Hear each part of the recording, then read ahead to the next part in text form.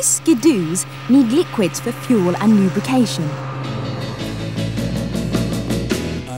But how does something like engine oil handle the big chill? My standard oil's lined up against Aruna's special Lubricant X. To pass the test, all the oil in the flask has to trickle through the tap into the beaker. Marks, get set,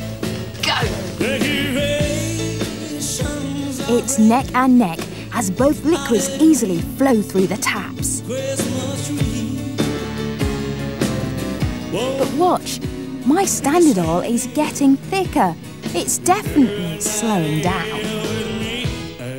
Aruna looks pretty confident as her lubricant X flows freely.